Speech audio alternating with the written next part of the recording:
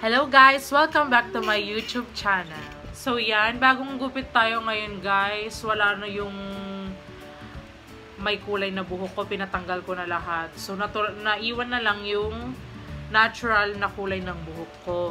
Yan, may kasama akong host ngayon. Ito si Baby. Hello baby! Say hi baby! Say hi!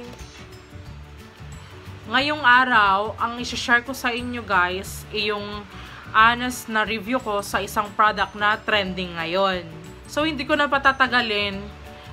Ngayon guys, gusto kong i-share sa inyo yung review ko sa isang product na sikat ngayon at pinagkakaguluhan and pag-uusapan natin kung ano yung mga naging effect sa akin, Mer meron bang naging hindi magandang effect, sasabihin ko lahat. Magiging transparent ako sa product na ito. So, ayan guys, nung last week napadaan kami sa SM, then hinanap ko yung isa sa mga trending ngayon, yung Jejo Aloe uh, cream. Lotion cream yata yon. Pero, sa kasawiang palad, naubusan ako, out of stock daw siya kasi talagang ang dami daw bumibili. So, ang meron na lang, tatatlong piraso nitong Jejo Aloe Ice Gel. Gel siya. Parehas din sila nung isa na trending. Pero yun, iba lang yung pag yung pagkakagawa sa kanya. Siya gawang cream or lotion, ito gawang gel. So, ito gagaling lang niya sa ref. Nagmo-moist pa siya. Yan. And then, tinry ko siya guys. First time ko magta-try ng product na gawa sa aloe vera. Hindi naman ako ganun ka um, favorite gumamit ng ganitong mga products. Pero nakita ko kasi yung vlog ni Ann, Ann Colots, and then nag-isip ako, bakit ang ganda nga ng effect sa kanya. Subukan ko nga rin ako, kaya bumili ako. And then yun guys, 7 days na akong gumagamit, 1 week na. So, ngayon ko naisipang gumawa ng product review kasi meron na akong napansin, meron na sigurong nagbago, meron na akong ay share sa inyo kasi na-try ko na siya. So, guys, yung mga nagtatanong pala kung magkano siya, tag 219 pesos siya. Watsons. Yan.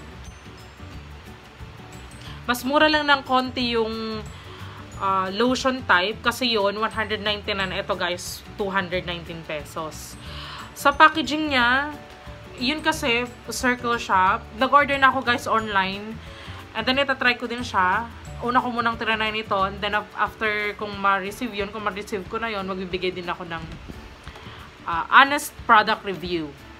So yun guys, ang naging napansin ko, na lahat ng mga products from Korea is magaganda talaga siya. Kaya, nung nakita ko siya, bago ko bilhin to sa Watsons, binasa ko muna kung saan siya made.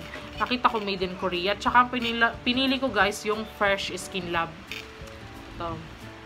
Meron din kasing isang ibang um, brand. Yan. Parehas na parehas sila ng packaging. So, ito yung pinili ko, guys. And then, nung tinanay ko siya, masarap siya sa mukha, lalo kung galing siya sa ref. Ang lamig niya. Siyempre, sa first day, wala ka pa naman mapapansin agad. So, hinayaan ko muna siya hanggang ngayon mag 7 day. Then, napansin ko, guys, yung mukha ko, naging makintab siya.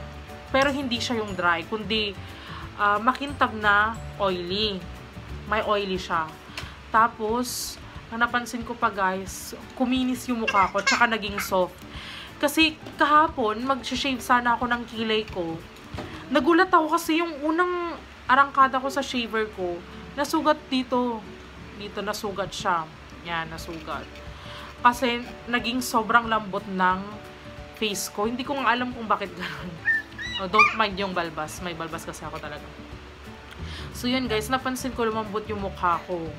Tsaka, maganda siya actually. Kasi, ginagamit ko siya bago ako matulog. Babad ko na siya guys ng gabi bago ako matulog. So, yung magdamag na yun, syempre ma-absorb na ng skin mo yung uh, Jeju Aloe Eyes. And then, pag gising ko sa umaga, nasasalamin na ako agad. Hindi pa ako maghilamos. Pero mapapansin ko, ang ganda sa mukha. Ganito siya, guys, pag malapitan ako. As in, ang kintab niya, pwede ka na magsalamin sa sobrang kintab. Joke lang. Yan, sobrang kintab niya, tsaka ang ganda niya sa mukha. So, habang hinihintay ko yung lotion type na in-order ko online, sa Watsons din, so habang hinihintay ko yun guys, susubukan ko muna tong gel type. Tsaka ako magbibigay ng review kung kamusta naman yung lotion type. So, yan, naiinip na yung alaga ko. Ayaw na niya sa cream. So, yun guys. Maganda siya. Try nyo. Kung wala pang stock nung lotion, pwede din din i-try yung gel.